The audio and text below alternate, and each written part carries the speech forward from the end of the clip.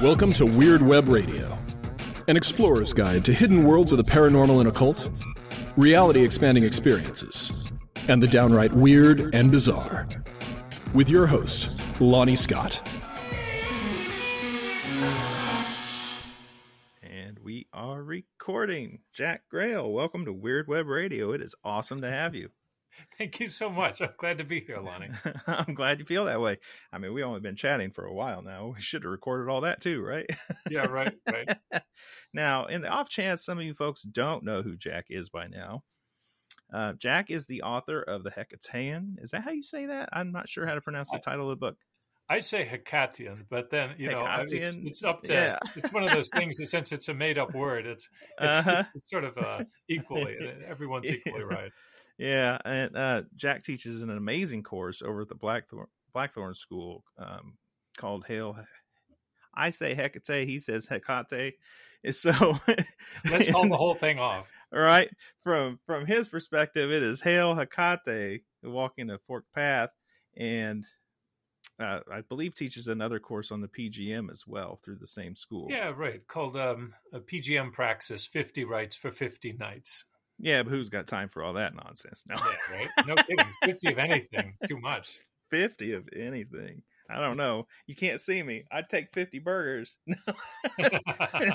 Give it a good noble try anyway. All right.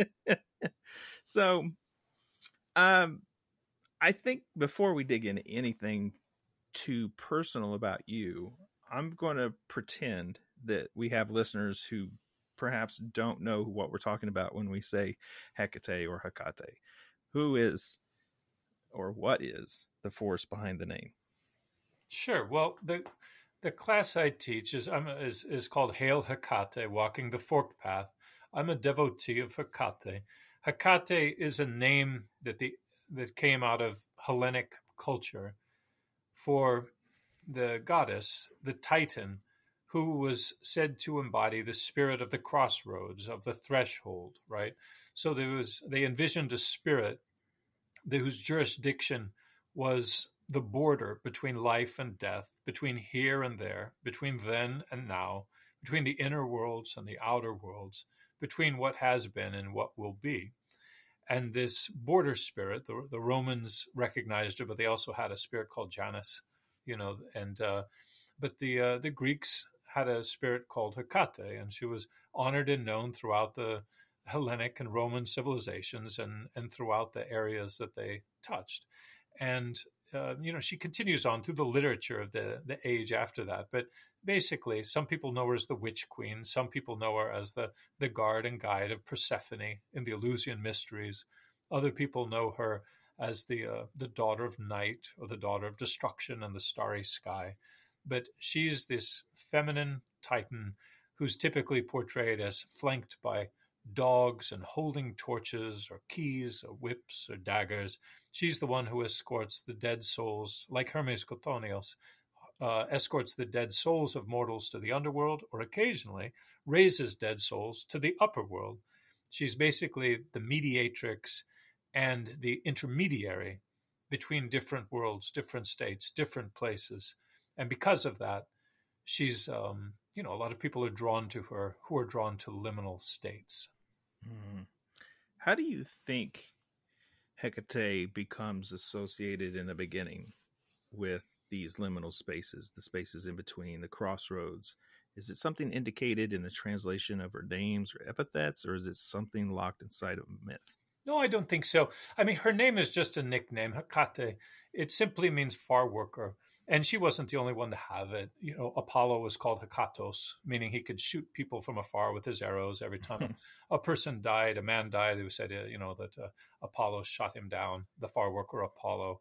And the same thing for uh, his sister, uh, that every time, you know, Diana or Artemis uh, shot someone, that they, a woman, you know, her life was taken and her soul uh, went to the underworld. So the, the name doesn't have much to do with anything. But in the Eleusinian mysteries, which were an initiation tradition in um, a mystery tradition in Athens, every year all the Athenians would walk 10 miles of fasting and dancing and chanting to Eleusis. And they would go through, they would reenact the goddess Demeter's search for her lost daughter Persephone. And they would be escorted by the torchbearers. And the torchbearers were, you know, performers um, who were dressed like Dionysus and Hecate. And these torchbearers would escort the Athenians to Eleusis.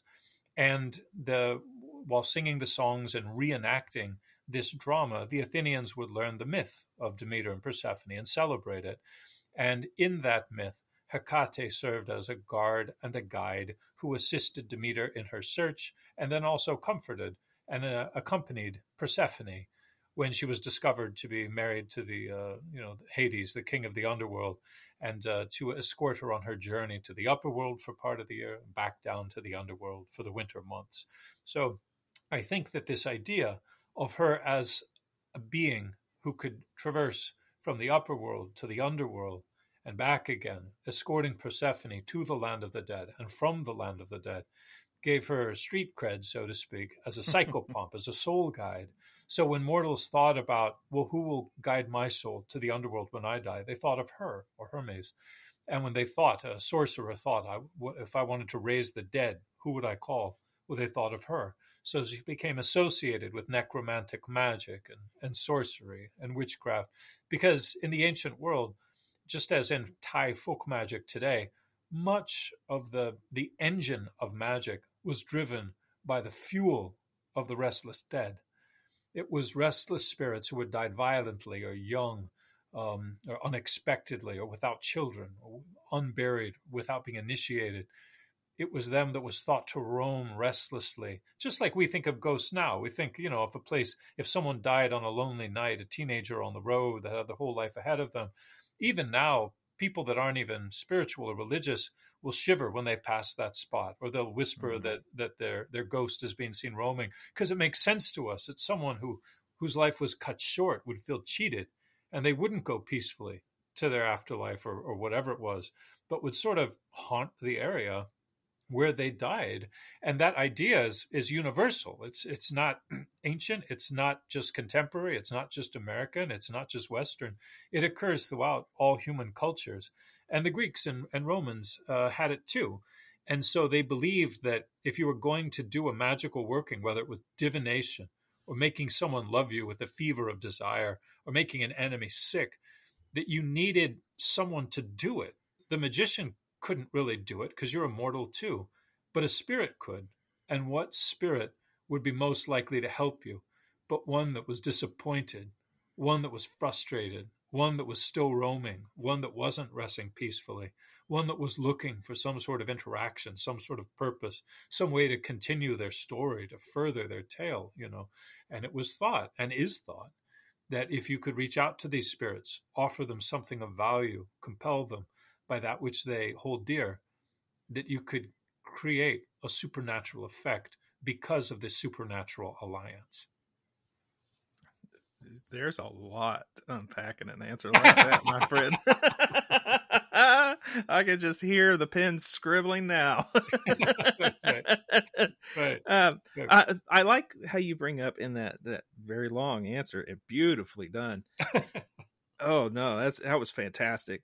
Um, the the idea that there are places where people's lives have suddenly ended unexpectedly right. and and how universally almost we seem to consider these things yeah. like a, a, crime against nature almost like yeah. an atrocity against the very act of, of existing is there something that you would do as a sorcerer or devotee of hecate in a place like that that could perhaps assuming there is a spirit still locked in that place or wandering or lost to help them.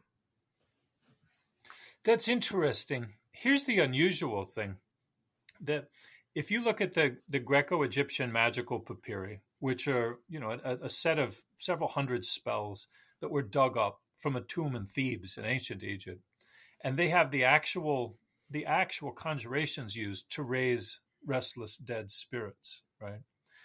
And the method that they do it is is very simple. But what's interesting is, you know, first of all, the sorcerer isn't trying to help spirits rest. He's trying to agitate them all the more. He's having the opposite effect. I think of something called like I think of it it could be split into two things. I think of it as shamanic necromancy and sorcerous necromancy. I think of shamanic as someone who serves the community. Someone like that might hear that there's a haunting and typically might avail himself, call upon the spirit, try to intuit what the spirit needs to rest easy so that the community isn't haunted anymore or so that this you know dead community member can rest easy and give it to him whether it's recognition of who they were gifts songs a memorial something like that right? But a sorcerous necromancy is the opposite. You call upon the spirit you agitate it by reminding it of the details of how it was cheated you remind it of how its life was cut short you remind it that it should have had much better than it did you remind it of all the people that have more than it you remind it that everyone's forgot it except you. And then when it's at a vulnerable place, you say, But you work with me, and your story is not over. Your tale is not told. Your song is not sung. I have work for you. You're not done yet. I have something to give you. No one else gives you anything. I'll give you a drink. I'll give you food.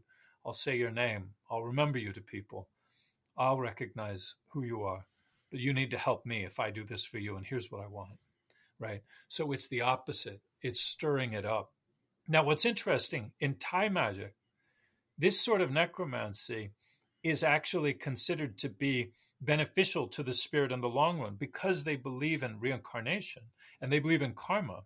So they believe if a spirit was did die young, if its, its life was cut short, it must have bad karma from a past life, right? Mm-hmm. So then they believe if a magician or a sorcerer, a Thai folk sorcerer, were to give it um, a job to do, and if the spirit were to do it, then not only would the spirit accrue good credit, good karma for its next life, but that the sorcerer, as a gift to the spirit, they wouldn't maybe just give him a glass of, of beer or a cigarette or a few coins, but they would do good deeds in their name, such as donating money to a you know to to the poor such as gifting something to a monk such as praying on their behalf would do things that would add to that dead spirit's credit and mitigate their karma in the coming life.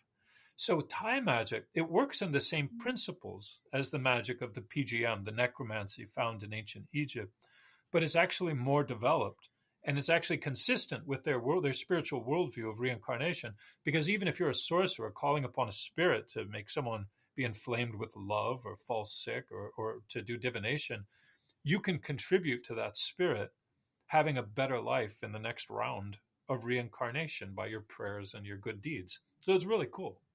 That is a very interesting like relationship between two different cultures yeah. over time. Yeah. know? And the yeah. approaches aren't dissimilar exactly. It's it's I think the ideology that's behind the action that marks the difference. Oh, oh that's oh, where the curiosity right. is. Yeah, yeah, no, you're you're quite right. And it, what it speaks to, which I find exciting, is that there's a the fact that there's a similar paradigm for spirit work in two cultures that are four thousand miles apart and two thousand years apart. Yeah. Tells me that this isn't just people making up stuff. There's a universal principle of how to deal with spirits, because many of the spells in contemporary Thai folk magic or ancient Egyptian sorcery work on the same principles. You go to the place where they were killed or buried. You call aloud to the spirit to trigger their, you know, their their um, their acknowledgement. You leave an offering, bread or a libation, some sort of drink. You call upon a. This is most important. You call upon a mediating spirit it's assumed you can't do the work yourself. You need you set a thief to catch a thief. You set a spirit to catch a spirit. So you call upon Hecate or Hermes Chthonios or Anubis or Osiris or Persephone, someone who has jurisdiction over the dead or over the gateway between the living and the dead. And you say to them, retrieve this soul or release this soul or allow this soul to speak to me or bring them forth. And then the spirit, you use magical compulsive words, epithets, magical voices, things like that to show that that you actually have knowledge of, of how the the mysterium works. And then when the spirit's brought forth, you enter into, you know, an exchange with them. You say, look, here's what I need. I'll give you this if you give me that. And uh, to do this, you often will want to put something like the dirt from their grave or a piece of their bodily materia near the target. All these things I just mentioned are present in both Thai folk magic and the sort, the necromancy of the Greco-Egyptian magical papyri. So there's very clear parallels in the protocols between the two, which shows me that there's sort of a universal rule about spirit contact, and both of them are referencing the same paradigm. Yeah, it's very. It's it's like when you hear people say, I, I hear this in heathenry a lot. You know, like it's it's an orthopraxic religion. It's about the practice, what you do. Yeah, it's not about what you believe. Correct. So there you have it. In spirit work, you know, it's about what you do, not right. necessarily what you believe. And you, one of the most effective things I found intervening in a haunting without putting any of that together that you've just said. Yeah. Yeah. is for instance, uh, say I've got a friend needs help. I go to a place and I determine that there is some sort of activity. I'll make it known. This is what I'm willing to give you, the spirit, in return for you to do the following things shut the fuck up, not bother these people, stay away from their kids, stop fucking with the toys. And oh, by the way, you're allowed to go batshit crazy when they're not here and there's an intruder. you know?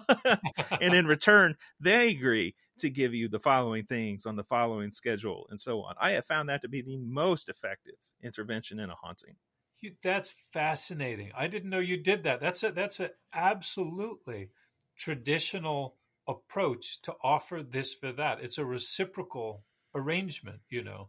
And um, just in the past year, there was a there was a dis- discovery of a, a wonderful um, an image on a slab, the earliest depiction of a ghost, which shows it in a you know, ancient Near Eastern culture being led somewhere to where it can be gifted with something, so it'll stop haunting, as the spell says, it's going to be right. So it's not just cast out or banished like you would think in a typical Christian, you know, working.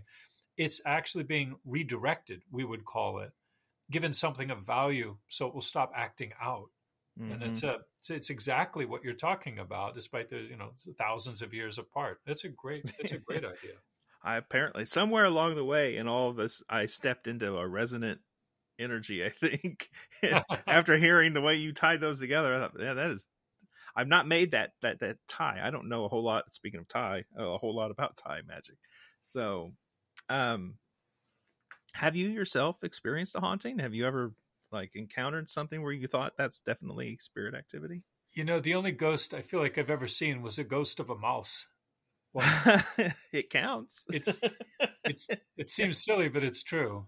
Uh, yeah, have, yeah, I I love mice. I've always liked mice, and um, and in the you know the the fall and winter we tend to get them, and if I can, I set live trap to live traps, you know, to get them out of yeah, the house. We do the same, yeah. and um, actually, I think this was like early early spring, and um, and I caught one, and uh, I showed him to my daughter in the live catch, and he was a beautiful mouse. He had these bright oil, his eyes were like oil drops, you know, and, and he was a beautiful little fellow, and um, and I said, well, let's get him out. Of, he needed to eat dinner, and I said, we'll drop him off at the park because it was the temperature had come up to the the you know 40s, and I thought that was warm enough to release him. And uh, but he was scrabbling around a lot, and I was worried that he would, you know, he would he would he would uh, hurt himself. So we put him in a bucket, but he jumped, and my daughter, who was holding a glass of water, shrieked and jumped back, and I covered it, and I put it outside. And then I, uh, you know, we had dinner, and then I drove. We drove to the park, and I said, "Go release the mouse in this hedge." And she did, and uh, and then we drove away. And as we got home, I said, "So did it, you know, scuttle away?" And she said, "Well, no, it mostly just sat there." and I said, "I wonder why." And she said, "Well, he was wet." And I said, "Why was he wet?" She said, "Well, when when he jumped, I spilled my drink in there."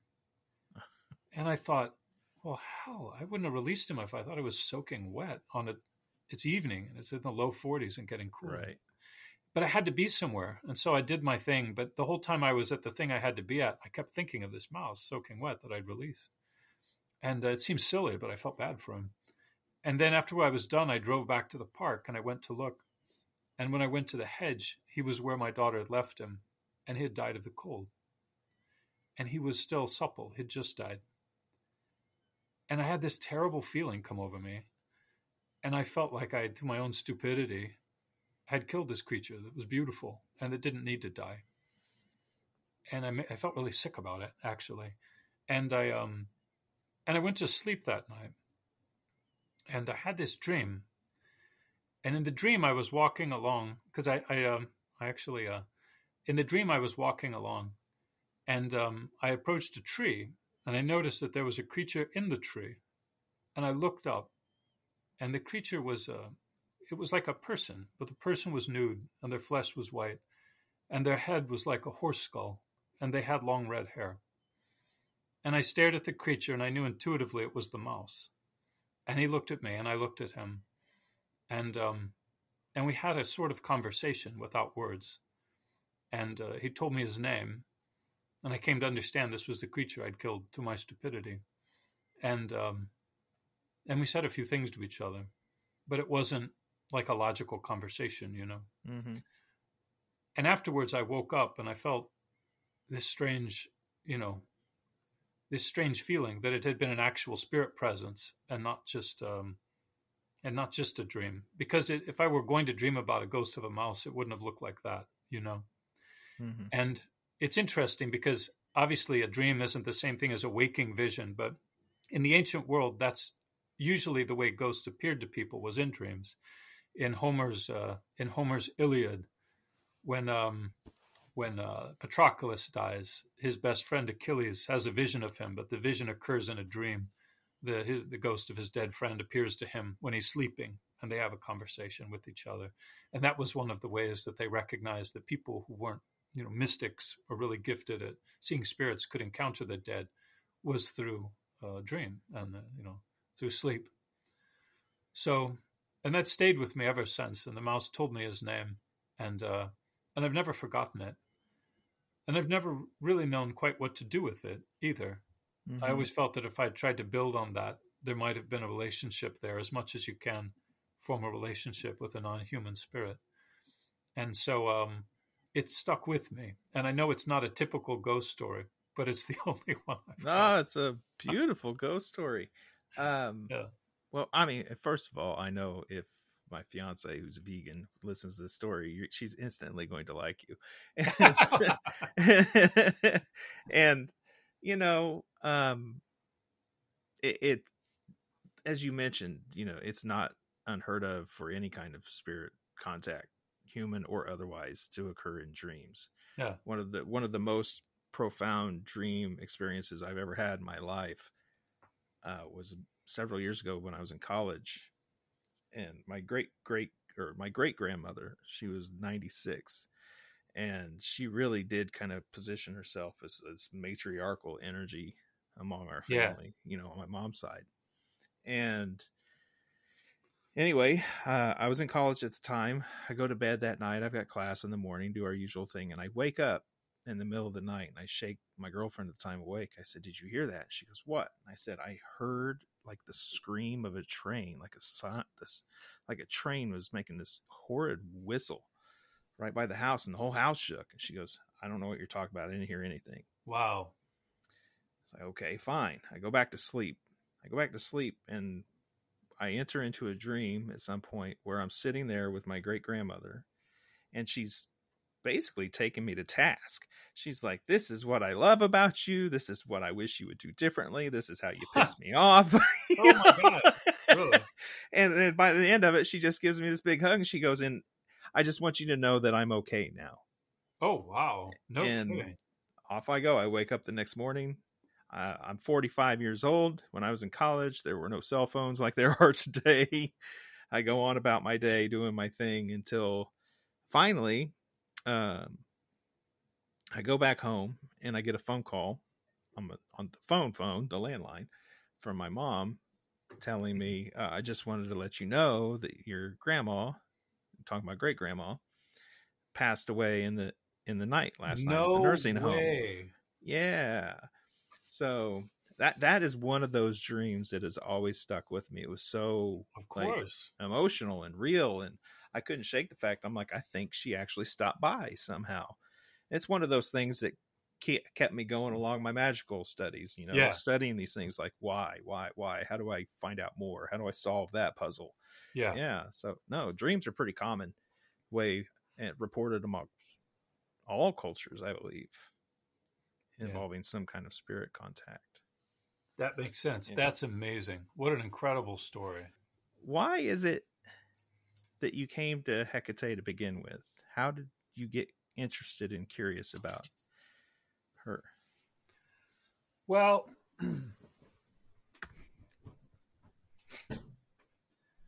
I think it's it's it can be kind of um there's a temptation to sort of backwards engineer the reason afterwards, you know. Uh-huh. There's a it used to be thought that um it used to be thought reasonably that when you had ancient rituals and cults that the rituals and cults had been created to match the myth. But then there came an interesting theory that actually cult came first and myth came second. The people invented stories to sort of justify what they were already doing intuitively, seasonally, you know, these festivals and these celebrations and these certain, you know, harm diverting actions and stuff. And sometimes I think we do the same thing we point out why this God or why that spirituality or whatever. We just Mhm. start to do things physically and then we find the justification in looking at, you know, this I chose this goddess or I read this book or I made this choice. But, but in reality, it's trying to justify what we were already going to do to begin with, you know. Uh, so I'm tempted. You know, I've talked to a, you know, a few other people on you know record about it, choosing Hecate or picking Hecate, but the fact is, I think, I think we're naturally drawn to certain powers and certain paradigms and certain forms of spirituality, and even if we come up with reasons, it's an intuitive process. You know, it's instinct. Some people are drawn you know, to more masculine, patriarchal, paternal deities, and some people are drawn to more feminine, and you know, and more. Uh, some people are drawn to more celestial, intellectual um, forms of spirituality, theurgic, and others to more um, chthonic and more, you know, the things that are more intuitive and of the earth and embodied and sensual. And other people look for you sort of formal cults that reference their their bloodlines or their nationalities or the what they imagine their you know their relatives to have done a thousand years ago. And other people want to break with tradition. They want to do something totally new that no one's in their family's ever done before you know they want to they want to be the first of their their kind to to do something totally different. And so you know we all bounce around like pinballs and and land into one of those slots whether it's Mhm. you know esoteric or mainstream or or whatever. And for whatever reason Hecate filled that gap for me. There was something about a feminine titanic chthonic spirit who occupied the borderlands you know the liminal space the threshold those you know in between spaces where anything can happen. And i think so much of the mundane world seems sort of um or at least it did at the time seemed plotted out seemed already you know like everything's already figured out. I've always been drawn to liminal places you know hidden things and and secret worlds and uh, you know through fiction or literature or, or ancient myth or or pop culture. So a goddess who literally embodied liminality had a really strong pull because that's sort of where the action is you know between here and there between this and that you know between now and then between good and bad between healthy and mm-hmm. sick between dead and alive between real and, and unreal. There's this gray area and in that gray area anything can happen. And that's a real fertile place to be. And so i was drawn to mm-hmm. that and she seemed closest to it. So i became drawn to her I completely understand where you're coming from with that. I I think it's it's it's again referring to a word resonance. It's resonating with particular things in the world. Yeah. You know, I I um my own contact with Hecate was was unsought. I, I, didn't ask for it. I would. I didn't even know who she was. I joined Jason Miller's strategic sorcery oh, course oh, sure, years sure. and years ago. I mean, it's been a very long time ago now. And if anybody is like a, a, a main spirit involved in his practice, it's definitely Hecate. And um, he puts out a thing for all the people who are in the strategic sorcery course. It's separate from his sorcery of Hecate stuff. It's kind of the first thing he ever did. Uh, they're global rites where everyone who's a sorcerer practicing his particular methods, we all have a specific ritual we do globally together uh, as scheduled. And around Halloween, it's always to Hekate. And a couple cycles of doing this, I start to have these just weird thoughts like, who is this spirit anyway? Yeah, right, right. and off I go digging and find out a little bit more and experiment with this and read that. I got a uh, Sorita d'Este's book, sure, it, it, books that she had out that time, and learned a little bit more. And a friend of mine, Kim Huggens, she is a professional tarot reader. She's well known in the tarot world. Has oh, published cool. a couple decks and books. I'm getting a tarot reader reading from her one day, and she keeps making mention that Hekate is coming up. I mean, and in the particular deck she's using, it's called the Tarot Apocalypsis by her and Eric Dunn. Hekate is a card in the in the deck. Oh wow! And, Very yeah, cool. and she says, um, she goes, I. She kept going. I feel like uh, Hekate wants to have a conversation with you of some kind. And I made a joke. I feel like I'm getting friend zoned by Hekate. and much like you, I'm attracted to liminal spaces, the strange things, the magic of the situation. I, I, if you ask me all the different god-sized spirits that I like to work with, they're all associated with magic and the dead and the underworld and cemeteries and yeah, and yeah. spirits and so on. So that's kind of my gig too. And I, like you, I don't. It's I don't think it's something I set out for. It's just right. kind of. I I think I slipped into a stream that I kind of belong in. That's a good way to put it. To slip into a stream, you know. Yeah. it, it is sort of like you feel like a leaf on the wind or a twig in a stream where you're picked up by different eddies and some dead end and some are stagnant and some kind of go backwards but then you find something where you feel comfortable and all of a sudden there's a lot of movement at once and there's a lot of mm-hmm. progress at once and you can't get out of it there's a feeling of a little bit of being helpless with it too because sometimes you feel like fate is conspiring to push you in a certain direction where even if you pass it up or, or don't do it, it crops up again. It crops like the card and the reading, you know, or you start seeing things in pop culture, hearing songs that reference it, or you start suddenly people bring it up to you. And it's kind of like the algorithm. You have one conversation with a friend, and then, you know, Facebook's trying to sell you the same thing you were talking about over and right. over again. But it feels like, in some ways, spirituality is like that too. Once you start to have an idea of the direction you feel you need to go, all of a sudden it, it starts cropping up everywhere. And you think, well, I can keep ignoring this, or maybe I should go with the flow and give it a shot and see where it leads, you know? yeah. Uh, Hekate is really enjoying a sort of renaissance, I think.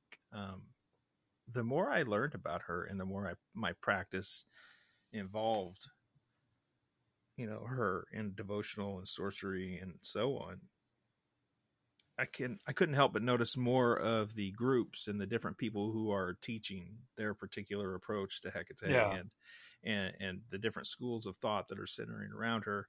And I, I, would say amongst all the the spirits who are active in human imagination and spirituality right now, she's definitely one of the leading up and comers for quite a while now. Um, why do you have a theory on why that may be? Why why she's that attractive to modern witches, pagans, sorcerers, and occultists of all kinds? Well, it's a good question. I mean, I think that a quick answer could be we live in liminal times right now. So maybe a, a titan, a goddess who embodies liminality, just seems appropriate to our age. You know, there's something she's meant to to occupy that space between this and between that. And a lot of people myself included, think we're clearly in a transitional phase as a culture. We seem to be going from something we know to something we can't guess at. And that puts us in a liminal space. So a, a goddess of liminality maybe sounds appropriate as a guard and guide to help us through that transition, especially if it if it feels as it often does uncertain, dangerous, you know, and uh, and foreboding. It's it's a comfort to have that power there, and also I think when you a lot of things feel like they're unraveling, especially the sense of a a common culture and a common spiritual background and common spiritual goals and common spiritual um, you know uh, beliefs. And so when that happens i think a lot of people it it uh, seek to find personal empowerment through magic and sorcery as opposed to relying on a hierarchy of initiated people to do it for them and so there's mm-hmm. a certain sort of person that says i want to do it myself i don't trust these people these people seem corrupt or dangerous or unconcerned with people like me. So I'm gonna I'm gonna find some form of spirituality where I can feel protected and in touch and in tune and and connected to a spiritual power and not have to have it my experience mediated through people I don't respect or who don't respect me. I want to have a direct experience of the divine. And a lot of people that are disenfranchised with their their families or their parish or their you know the, their culture or the you know what they perceive as the patriarchal and corporate um, cultures think I want to revert to an earlier age when I, when I, I, didn't you know when there were powers that weren't so monotheistic when there was uh, spirituality that wasn't so managed and curated by a power structure which I have no respect for and no place in and I you know mm-hmm. I wouldn't let, I wouldn't have lunch with these people why am I going to let them tell me whether or not I'm going to heaven or not, or, or, or how I can heal myself, or, or whether I can speak to the divine. And too much of the mundane world seems sort of desacralized and uh, and just that mundane. And and there's a I think there's a a great hunger to resacralize and rewild our existence. And that's why people are hungry for stories about spirits and ghosts. And that's why people want to visit haunted places or, or, or liminal places or, or think about finding creatures that everyone thought died out long ago or, mm-hmm. or discovering a, uh, that, that magic works or there's a way to talk to ghosts or that you could actually leave your body or divine things. It, it upends the known paradigm. But the known mm-hmm. paradigm for a lot of people is just sort of distressingly mundane or the or the magic of it seems out of touch unless you're a physicist or you know independently wealthy or something. So they're looking for more personal ways to connect with that which is uh, uncertain and um, exciting and and uh, you know sort of fluid and uh, phenomenal. And so magic or the goddess of magic seems like an obvious choice for those who feel that way. What steps would you take or would you even recommend someone take if they feel in that they're in that position that everything's just too mundane, too desacralized. They want to rewild it. Like how how can you you be an active participant in something like that? You know, it's a good question. Like where do you start? Where do you mm-hmm. start? Mm-hmm. You know, if you live in a if you live in a suburb and you got a nine to five job that's not that thrilling, you have relationships that seem, you know, they're okay, but they're not, you know, so crazy. And and and there's this sense of how do I? It could be like this for the next sixty years, and there's that claustrophobic feeling that can creep in. I'm not that old, you know, and and maybe I don't have unlimited funds to go travel the world or you know go to Stonehenge or, or you know or, or or all that. Like, so where do I where do I start making my my existence exciting and giving some wonder to it, some awe? Not everyone wants to worship you know, it's easy to say, well, worship Hekate, that'll do it. But to just be honest, like not everyone feels drawn to that. Not everyone right. wants to, they're like, well, I'm not an ancient Greek, you know, I'm not an ancient Egyptian. I'm not, why, why can't I be myself here now? What can I discover that can help me connect as a person living where I live, doing what I do to something that's awesome and wondrous and stuff? And I think the answer is kind of twofold. The answer is no path that makes you pretend to be something you're not has any merit you know, you can't mm. pretend to be an ancient Egyptian priest. They, they, don't exist anymore. You know, you can't pretend to be like, well, I'm gonna, you know, I'm gonna pretend to be a, you know, whatever. That it's silly. You know, it's it's make believe. It's okay if you're going to a convention, you're larping or you're role playing, but it's not a spiritual path to do to to pretend. I think, but the answer is this: the if you look past the cultural trappings it starts with the belief that there are, unseen powers in the world and this idea that you can connect with them. And if you connect with them, you can touch something that's on an intuitive level that the powers that be can't curate. there's a there's sort of a wild current that runs through the world and different cultures have given it different names you know there's a threshold goddess of liminality in greece but there's also a threshold god of liminality in voodoo and there's a threshold god of liminality in asian religion. Like and any aspect of life you pick whether it's whether it's um, you know being a fatherhood and a leader or a domesticity and a healthy home of science and, and medicine or of you know of, of sensuality and sexuality these these aspects of our lives people in every culture have believed you can connect with the raw substance of that human experience of warfare of sensuality of magic of profit of leadership and rule of healthy homes of disease of order and structure and health you can touch the raw essence of it and that there's aspects of it scattered around in people and things throughout the world. And that's exciting. You think, well, how could I contact the very spirit of warfare or the spirit of sensuality or the spirit of magic the spirit of profit? And that's where these cultural approaches come in, you know. And so you, you take a look at it and you say, all right, well, there's different, we could pick a sort of a neo pagan paradigm where you honor them devotionally, or we could pick sort of a a ceremonial aspect. We call upon angels over these powers. Or we could approach them from a planetary aspect, where we look at what the astrological or planetary correspondences are. Or we could look at them from sort of a, a contemporary standpoint, like hoodoo or something where it's all about the praxis, you know.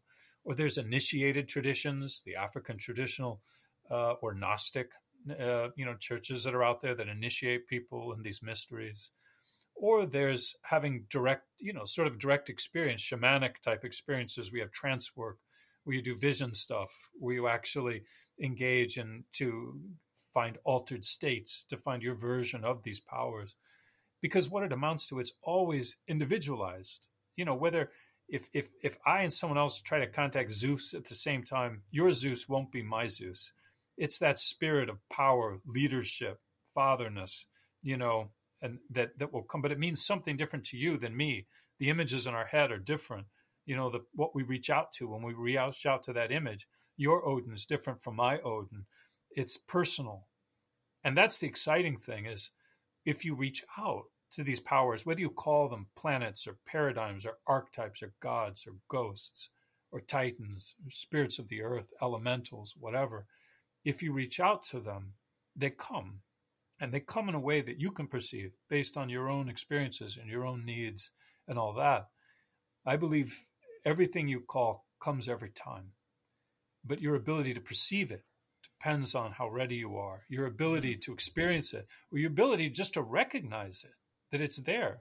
Because again, you're calling on something without a body. And we're such visual people, you know, we're used to just saying, I called, nothing came. It's like, well, mm-hmm. you called, you didn't see anything, but you called something that doesn't have a body. So what were you expecting? You know, how would if you called if you called upon the very essence of sensuality and ecstasy, how would it appear if it came? You know, probably not a form, but if it was in your life, you called it and it came, how would your life change? What would your reality be different like? And if you start opening your mind to that, you start to see all these epiphanies you know, the Greeks had a word, you know, epiphany, which they often associated with the appearance of the god, but they had another word, a kratophany, which is an appearance of power, of divine power.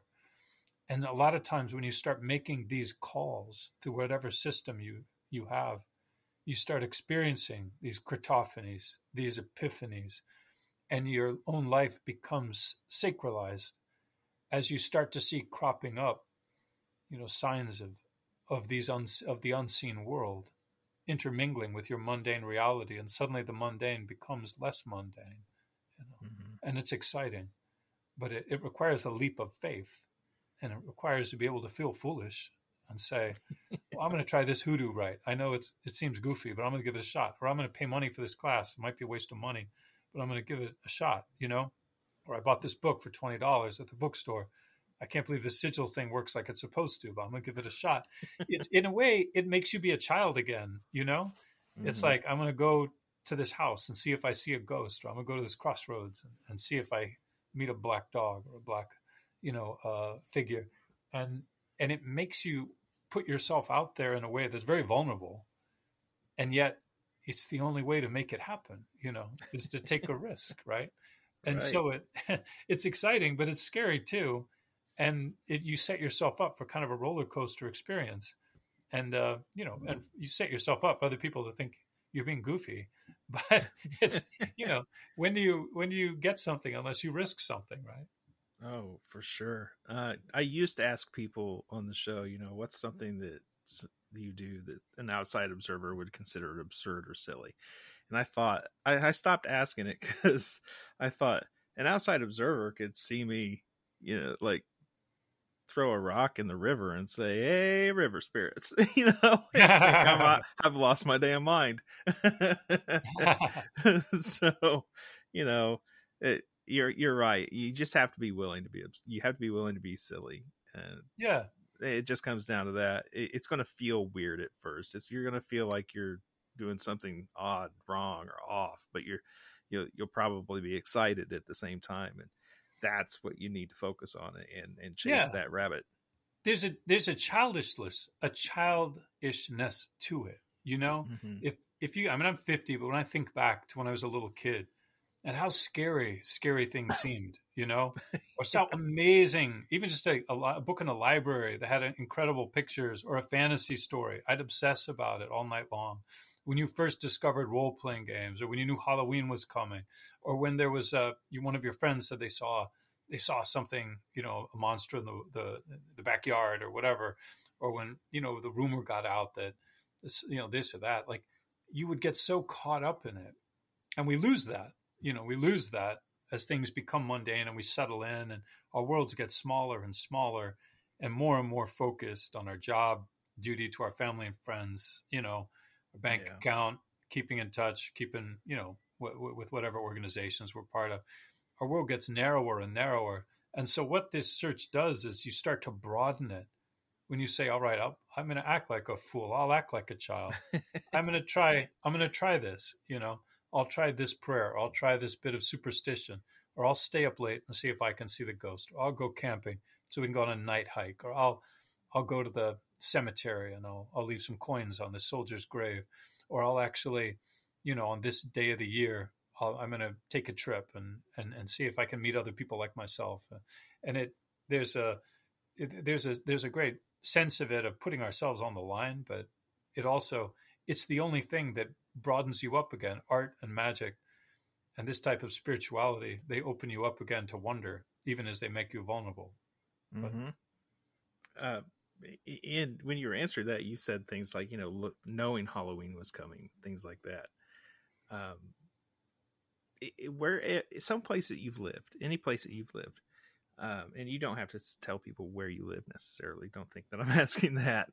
Um, is there some bit of local folklore or like a local legend or legendary figure um, that as you say has an eye to the strange that that would capture someone's imagination That's a good that's a good question. You mean like a, a local legend sort of thing or something like that? right? sure yeah like it's every place has their own local folklore and their own like not just the the common history who started the town who did this who did that you know the the more uncommon things the the that seem to attract people the the story that kids tell each other you know right kind of right stuff. right right.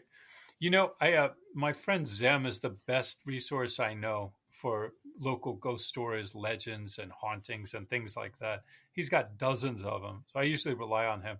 I will say that i do i do live in the part of the country that's considered the land of lincoln right? Same. And- and and Lincoln himself, you know, had a had a tragic life with his, you know, he had children who died young, and he himself had a, a you know precognition of his death of his own death, and sure enough, you know, he he did die violently, and um, and actually, you know, I don't know if people know this, but you know, he died in Ford's Theater when he was shot, and Ford's Theater in Washington D.C.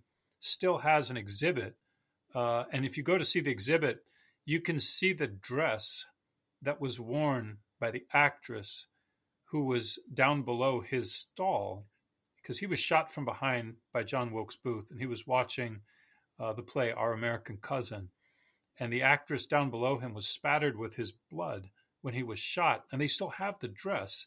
And not only do they have the dress, but they have the door that um, that was between him and the hallway, and they have the piece of wood that was jammed in the door by John Wilkes to leave it jammed open so he could approach un, unseen because the uh, the Secret Service did such a lousy job protecting Lincoln.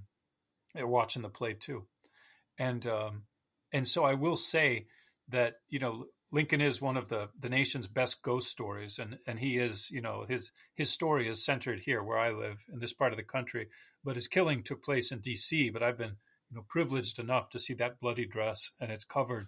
It's a sort of a tannish brown dress, but it's covered in these rust colored stains. It's not a small spattering; it's covered in blood. And oh, you wow. think she was standing, you know, twenty feet away from him, and this idea of uh, that that's the blood of Lincoln on this dress, you know. And she later she went ran upstairs, and she cradled him um, with his head in her lap while they ran to get a doctor. So part of the blood on the dress is him, her holding him while he died, and uh, and it's an incredible idea. You look at that dress, and so much of what seems like just sort of a story of our nation's history, all of a sudden mm-hmm. it becomes frighteningly real when you realize that's his blood, you know.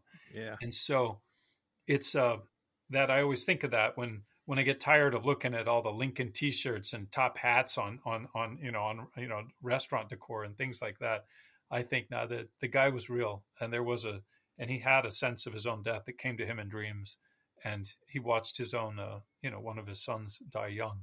That guy knew tragedy and he knew haunting, and um, and he haunted to a degree. You know, his his widow, Mary Todd Lincoln, felt haunted by him, and and there were spirit photographs.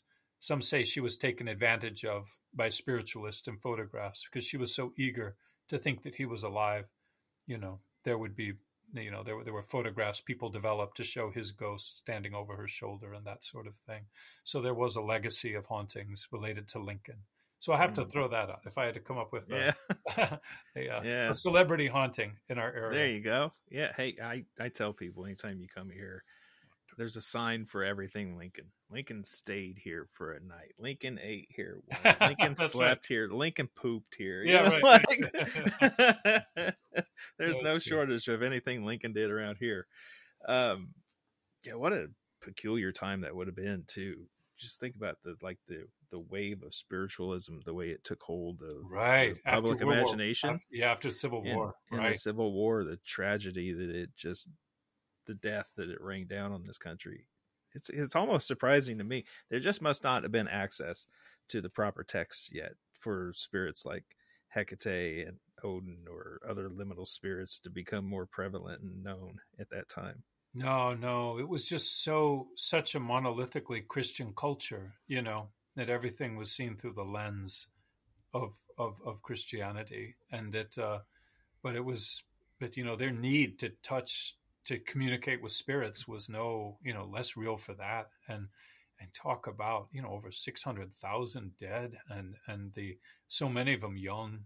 Um, it's mm-hmm. it's it's it's unthinkable how many people died in that conflict and to think of the scope of the the loss and that yearning to contact someone who had gone i mean what a what a deep and what a powerful experience for those who had it to be able to think that they actually communicated with someone who could hear the dead or see the dead you know? yeah so i had uh, two listener questions that i wanted to throw in here before we wrap up the oh, regular oh, sure. portion um, two of my favorite there was a lot of common and i just kind of boiled them down to a couple one is, and they wish to remain unnamed. Um, one is about crossroads, and kind of the idea I was getting from the questions coming in about crossroads is.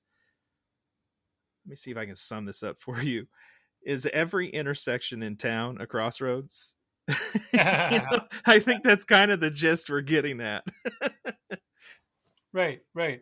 Well, I'll uh, I'll say this the idea, you know, I think questions like this sort of presuppose there's a binary yes or no question. You know, a lot of us we sort of have this it's very western and it's very american to think there's a right way and there's a wrong way to do it you know?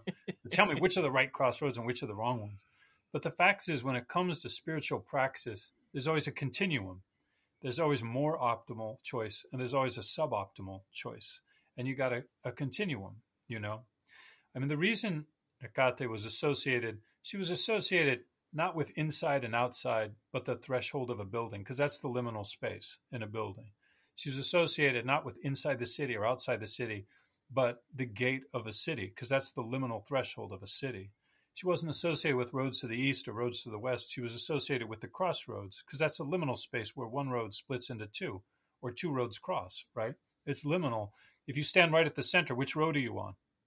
Well, you're not on any of them because you're on all of them you're not really on the road you're at the crossroads where they cross it's liminal you know mm-hmm. and so you know her, her her time the new moon it's not really a moon phase it's the time between moon phases there, there's this there's this liminality that she occupies the in between you know so if we look at that if that's her mo what we know is that spaces are more Hecatian the more liminal or in between they are and they're less Hecatian the less liminal and in between they are.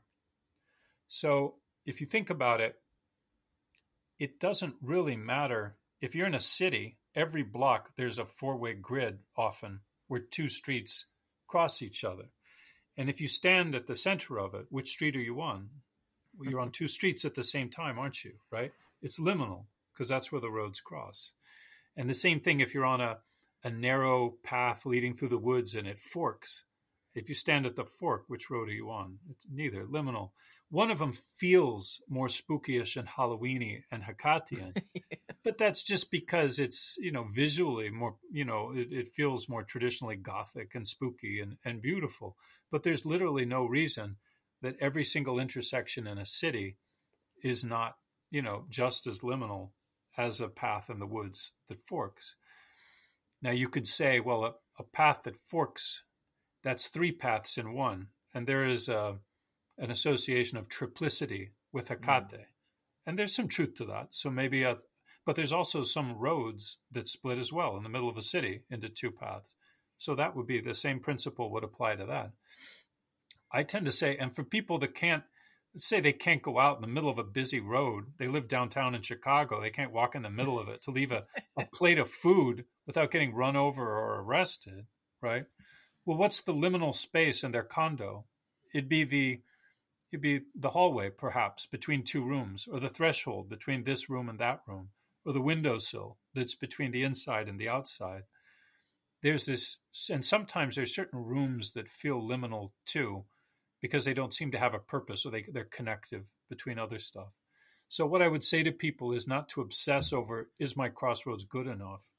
But if you're calling a power of liminality, we're trying to leave an offering where a spirit of liminality would presumably be, consider look for the most liminal space you can find. And if it's a busy intersection at a city, then that's what it is. Or if it's kind of a patch of land where the park ends and the city begins, that's neither park nor city, well, then that's liminal too. Or if it's the little, you know, strip of earth surrounded by a curb that's in the middle of the highway and the avenue, it's not the road, but it's not off the road, it's just the divider, well, then that's liminal as well. It's the liminality that's key. Mm-hmm. Yeah. And I'd, I'd say too, I mean, for people who listen, they've probably heard me say this before. If you're new, you may not have, but a central part of my own practice is that you and I are crossroads. I stand at my mm. altar every day before nice. I do every single day. I stand at my altar and I, I do the following I stand at the crossroads, draw an equal arm cross on myself, and say, and I am that. And then I have a litany that I do after that. But mm. after I get done with the litany, I come back and I say, and I stand at the crossroads and I am that, you know, and that is a central concept to me as a magical practitioner that I am a crossroads. I am, in essence, an avatar of what people think of when they think of crossroads. I think that's brilliant. And it also points out the fact that humans are liminal creatures too. We're creatures of flesh and spirit. We're where they overlap. So that makes us hybrids, like chimeras, right? We're, we're a liminal creation. Also, age wise, we're constantly aging. what age are you really? Every second you think of it, you're one second older than you were before. there's a there's a liminality to us spiritually, sexually. You know, there's a liminality to us. We're creatures of you know we have a, a mental intellectual life but we also got an instinctive intuitive life that intervened our conscious our subconscious and what's between we have all these opposing forces inter you know interweaving and overlapping and we're at the heart of those and we're constantly mm-hmm. shifting our mentality our you know what, what we think what we feel our age our desires our sense of fate sense of awareness all that. It's we're not a stable thing. We're not a unified monolithic one thing like a piece of wood. We're degenerating but we're growing at the same time. We are liminal. I think that's brilliant. Mm-hmm. Yeah i can't take full credit for that one by any stretch i got it was an idea i was piecing together for a long time and coming to it and Aiden Walker is the one that like really put it all together in a way that made me go that's the missing piece that i, I needed so yeah, I agree. It, it, was really brilliant. I told Aiden as much, and I stole what I needed from him and told him I was doing it. um, next question uh, from listeners comes from Courtney, and Courtney asks, "What is the biggest misconception people have about the PGM?" I think there's three misconceptions people make, kind of equally. One, um, is that it's too hard. The stuff in it is too hard or too complicated to do. And the fact is that there's many spells in it that all they need is your voice. You know, it's just reciting a spell or writing down a few sentences. It's full of spells that are doable that don't require, um, you know, amazing magical instruments or weird ingredients or things like that. But because they're not written down in any particular order, and because the way they are in the book, they start out with some of the most difficult spells. A lot of people give up early on thinking, I can't make hide nor tail of this. Like, this thing is com- complicated as hell. I'll never be, I'm not going to do any of this stuff. One of the early spells talks about drowning a cat, and people are like, I'm not going to drown a cat. And, and they just no. get turned off. yeah. And that's one of the reasons not to, you know, not to hype my own class, but when, when I, I teach a class on the PGM, a year long class, and what we do is we look through, I curated the simplest spells, you know, to show people there's a, you can be a sorcerer of the PGM with very little prep or expenditure of money and just you know the investments in your your effort and your will and your uh, you know and, and your time and all that. But anyone can do it. It requires going through it and just finding you know some of the simpler workings so it's it's not as complicated as it seems. That's the first misconception that it is all unworkable and that it's so full of missing stuff and weird ingredients and secret codes that no one can figure it out it's a bunch of nonsense it's a bunch of nonsense the second one is that it's Greek, and that's an understandable mistake. It's called the Greek Magical Papyri, the PGM, right? Mm-hmm. But in reality, they call it that because it's written in Greek. It's written in Coptic. But the fact is, they come the all the spells in it were written by Africans for Africans, directed toward African targets.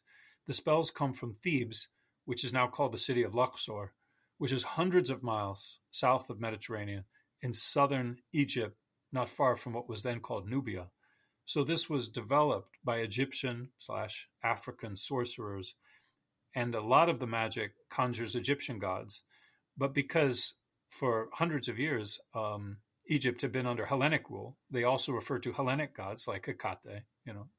And it's also when they were written, they were under Roman rule, so it will refer to some gods like Serapis, uh, who were you know Roman and uh, you know uh, conflations of gods.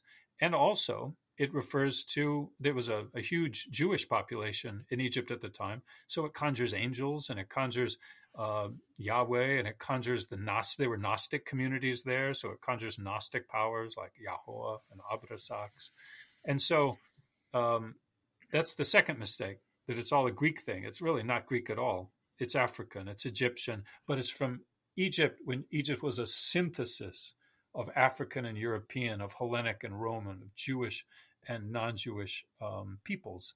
So it's it's a syncretic, the magic, which is really cool because we're a syncretic people too. If you're an American, or if you know for Western Europe, we, our culture is a blend of lots of different influences. So that's one of the things that makes it approachable. The other mistake people make is that it um, they think it comes from a time when magic was accepted and embraced and widely, you know, revered, and that's a bunch of nonsense too. In in in Rome and Egypt, you get burned alive if you paid someone to do sorcery for you, and uh, you'd be crucified if you were the one to um, to do the working. It was illegal to do.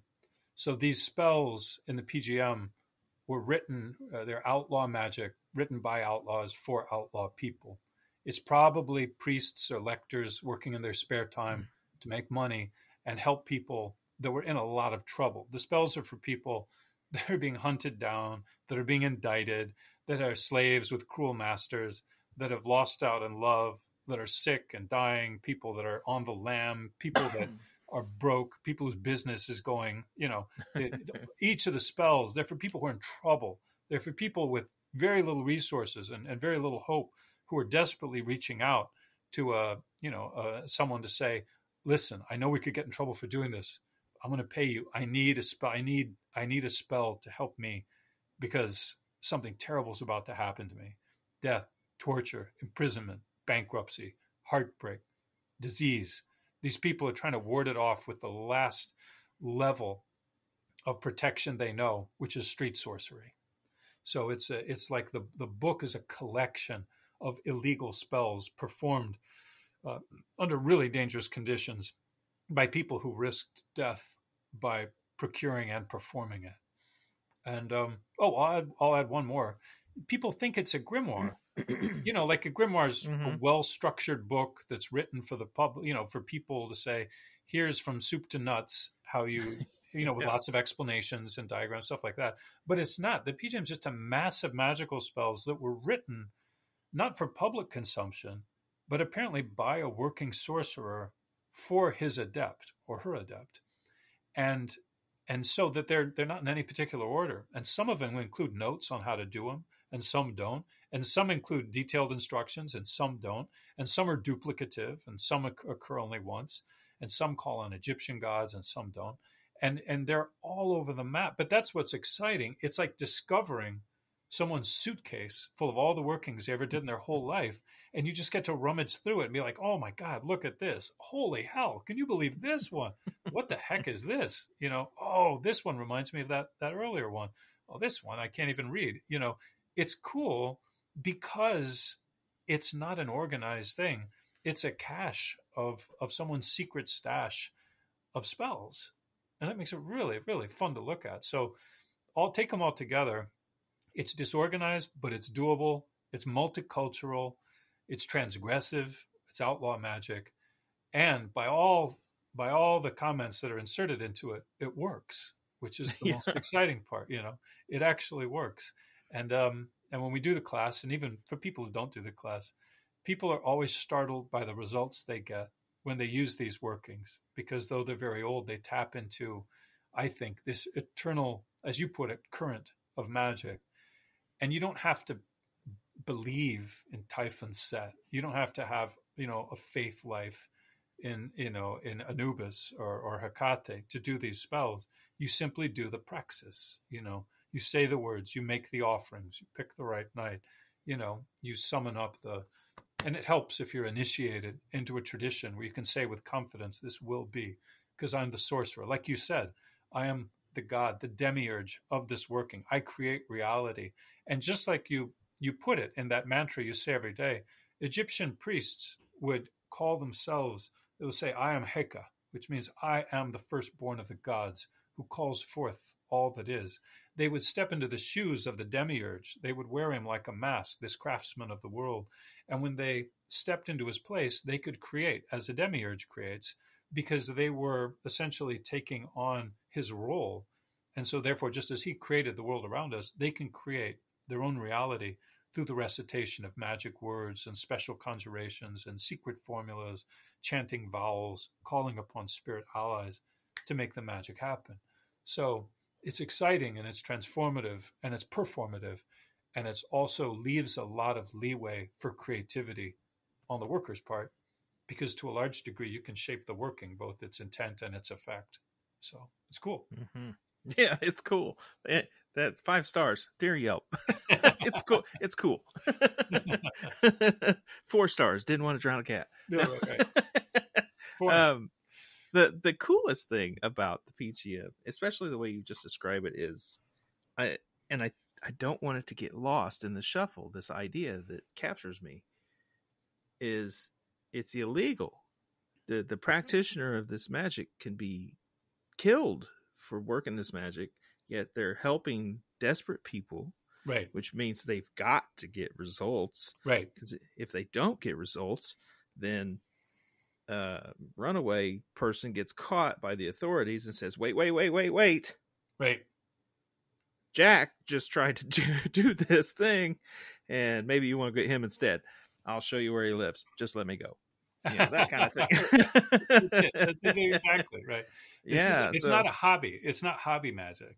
Yeah, um, this this, I mean, just look at your bookshelf, folks, and look at the the books on witchcraft and magic and whatever you might have, and try to wrap your head around the concept that you could be executed for right. even having them.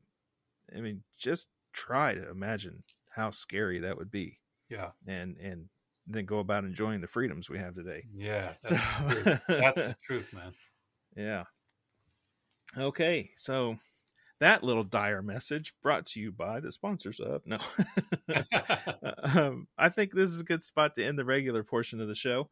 Um, is there anything that I should have asked? Something you want to talk about that I didn't cover? You know, I'll just say this: the biggest problem I see when I deal with students and taking in my classes is oftentimes they don't trust themselves enough. Everyone has within them the ability to engage in uh, an awesome spiritual practice, whether it's contacting ghosts, connecting with the dead, divination, devotional work, sorcery, planetary work, whatever whatever appeals to them. They all have the tools. To some degree, they've been trained not to trust themselves. They've been taught not to trust their own instincts, to follow someone else's instincts, to do what other people say. And so, a large part of this process, and I'm sure you know this too, when it comes to spirit explorations and visions, is to trust your gut and to mm-hmm. listen to that quiet voice inside of you that says this, not that, you know? And if you do that, everything follows from that. And that's something we can do every day is just try to listen to ourselves more than we do and not get so caught up in great teachers or this person said that or that book said this. Everyone's got good. Some people, a lot of people have great insights, but it all comes down to developing that gut instinct, this, not that, and mm-hmm. listening to that quiet voice inside and everything flows from that. So I just, you know, that's the, the only thing I'll say is just to encourage. We all need to listen to our own instincts, our own intuition more, and trust that we know what we're doing. Agreed. Very good advice. So, where can people find you? Oh, well, I have a I have a website called jackgrayle.com, and I also teach classes at the Blackthorne School. If you Google that, and I uh, I teach uh, I, on my own uh, a different platform. I teach a class on on uh, the Iliad and the Odyssey and esoteric takeaways from the Homeric stories, and um, and I'm also got a I, I've got a class coming out that'll be on uh, the topic of the the, the poet uh, Robert and goddess worshiper Robert Graves. But I'll save that story for another later date. So yeah, that sounds fun. I will make sure that all those get into the show notes as well. That way, people don't oh, have to go you. Googling. I appreciate that, Yeah, not a problem. All right. Well, thank you so much for taking the time out to be here, Jack. I really appreciate it. Oh yeah, it was a pleasure. Thank you for letting me be on the show. It's wonderful. Awesome. Um, for everybody listening, whether you know the drill or not, we are about to take the rest of this conversation over to Patreon. If you want to hear the rest of this, you're going to have to go to patreon.com slash weirdwebradio or go to weirdwebradio.com to click join the membership. Meanwhile, my friends, stay weird out there. and it's bonus audio time. Jack Grayle, are you ready? Absolutely, man. All right. First question in Patreon for your first visit to the show that insinuates there will be more, is what famous person's resting place do you most want to visit? Famous famous place do, do I want to visit, did you say? Most famous person's resting place you want to visit. Oh, oh, oh. He's got a dog in his face right now, folks. Yeah, right. A black you know, one even. distracted by a black dog. He's just a very small one. You know, that's a great question Do you want to hear how they just answered that question, what famous person's resting place would you most like to visit? That and many others, including what they think about the afterlife, what they may or may not do in cemeteries, what are their traditions and magical practices that have to do with the dead, folklore that surrounds their homes, and so much more. Available for only $5. $5 a month. Even if I make more than one episode in a month, it's still just $5 a month at patreon.com slash weirdwebradio or go to weirdwebradio.com and click join the membership. You can find me on Instagram at weirdwebradio. You can find me on Facebook as Weird Web Radio or come join the new, fun, and exciting Weird Web Radio Facebook group. Thank you again for being here. Stay weird out there, my friends. Thank you.